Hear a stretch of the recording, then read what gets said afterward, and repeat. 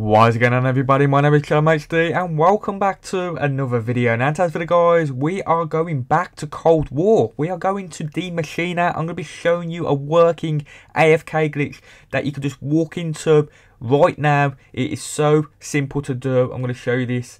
Here we go. So as you can see guys, we are on this map. It feels so weird to be back on this map and all you guys need to do from here is make your way over to the living room and you're going to see there's like a rock on the floor and if you look up there's going to be a letter D just make sure that you're in the middle of that letter D and that you're about halfway up if you do that correctly what will happen is all the zombies will stand AFK. You can actually move forward, allow the zombie to come closer to you, and then move backwards. And as long as you're in this right position here, as you can see there, where that D is and where the side of that sack is on the floor, you are in the right position. Now, I thought I'd come back to zombies because, you know, it has been a while since I've actually posted any zombie content on my channel. And I do miss the whole zombies in itself. And I can't wait for it to bring, or them to bring out another zombie game or another zombie map or something like that because I love